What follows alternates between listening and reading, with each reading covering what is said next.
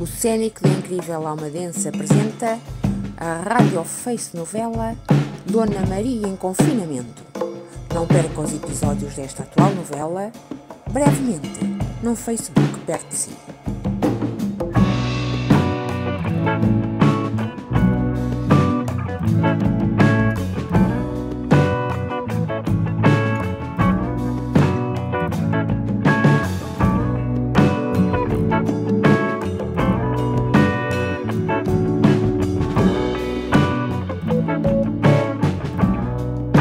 Thank you.